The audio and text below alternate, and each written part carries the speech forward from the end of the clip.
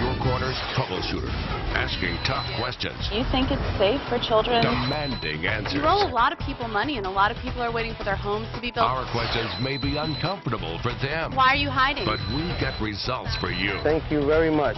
Bless you. If it wasn't for Fox 4 troubleshooter, Four and Your Corner's troubleshooter, Marisa Mendelson. I absolutely think that you're getting involved is what pushed this forward. This was like a gift from heaven. Only on Fox 4 News at 10.